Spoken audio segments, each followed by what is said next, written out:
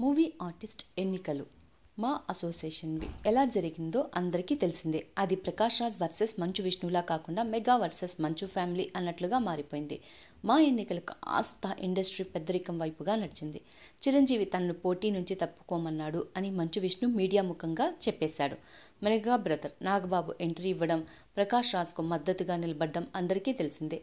మంచు వారి తరఫున నరేష్ రంగంలోకి దిగి చక్రం తిప్పడం తెలిసిందే. మా ఎన్నికలు జరిగిన ఆ సమయంలో మెగా వర్సెస్ మంచు అన్నట్లుగానే వ్యవహారం సాగింది. ఇక నాగబాబు చేసిన కొన్ని కామెంట్లు అందరినీ ఆశ్చర్యపరిచాయి. ఈ ఎన్నికల్లో local non local Telugu non Telugu అనే వ్యవహారాలు వచ్చాయి.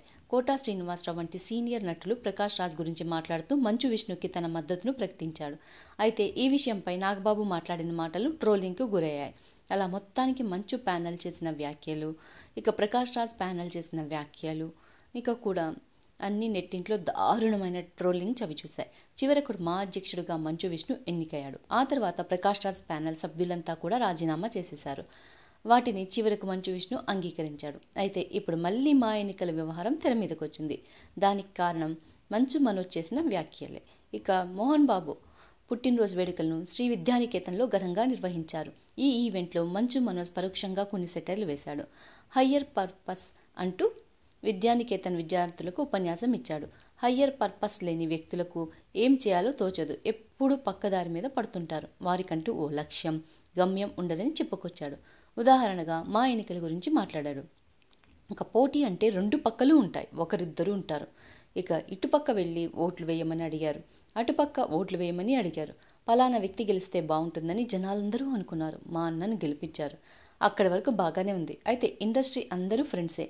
ఎవరికి ఎవరం హాని చేసుకోం. కానీ ఓ ఒక వ్యక్తి మాత్రం మా అన్నని టార్గెట్ చేసి మానసికంగా ఇబ్బంది పెడదామని ఏదో ఒకటి అంటూనే ఉన్నాడు. కానీ మా అన్న ఇవన్నీ పట్టించుకోలేదు. నాన్నగారు పట్టించుకోలేదు. ఎవ్వరూ పట్టించుకోలేదు. ఎన్నికలు అయిపోయాయి. రిజల్ట్ వచ్చేసింది. మాకు సపోర్ట్ చేసిన వాళ్ళని పెద్ద పెద్ద వాళ్ళని కూడా బూతులు తిట్టారు. అది మీ అందరూ చూశారు. వాళ్ళెందుకు అలా చేశారని ఆలోచించాను. వాళ్ళకు హయ్యర్ పర్పస్ లేదు. ఇక వదిలే పాపం అని నాన్నగారు అన్నారు. కరెక్టే కదా అని అని అనిపించింది. తర్వాత నేను ఆయన గురించి ఆలోచించాను. అతని చుట్టూ గొప్ప గొప్ప వాళ్ళు ఉన్నారు హయ్యర్ పర్పస్ కోసం జీవించే వాళ్ళు ఉన్నారు జనాల కోసం ఏదో ఒకటి చేయాలనే తపంతో ఉన్నవాళ్ళు ఉన్నారు.